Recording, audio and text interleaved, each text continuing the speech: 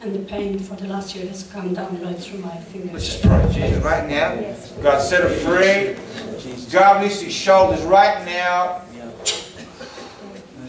We ask you for a miracle for her life. In the name of Jesus.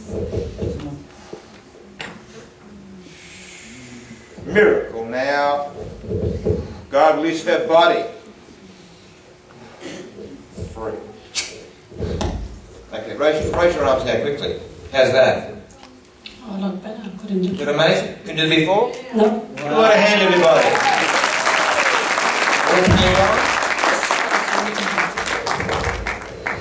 Thank you, God. Isn't the gospel's amazing thing? Yeah. This world is, is dying for lack of a knowledge that there's a living God who loves them.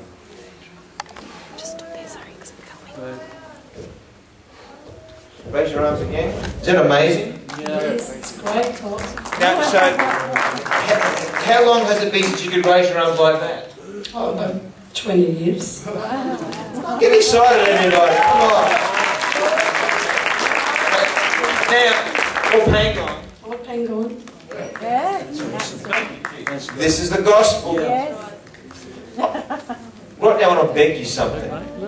Is it amazing? You get a brace on. How long? About probably 10 months. What was the brace there for? Oh, because of to in my thumb. Where's it now? It's gone. Now, there's something that really disturbs me sometimes in churches. That I see a lot of Christians coming for themselves for healing, and they have sick neighbours and friends who they never even invite. You know, you know, the gospel is a good news for a lost world.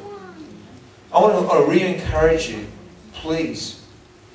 You might know friends. I don't care where they, they could live in a few hours away. I don't care. Two hours drive is nothing if you've got cancer or dying or, or, or incurable disease. Nothing. You, you know, you could actually pay for an airfare and fly somewhere.